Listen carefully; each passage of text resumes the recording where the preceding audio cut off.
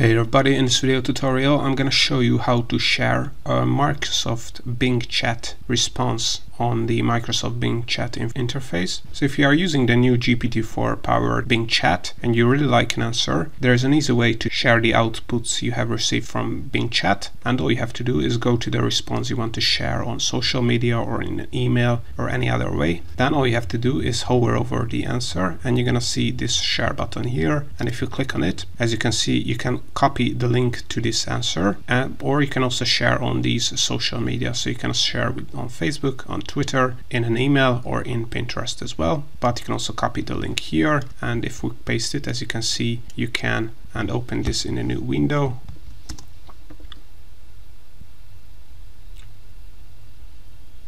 we can see that we can open this ChatGPT answer in a new window as well. So all in all, this is how to share a Microsoft Bing chat answer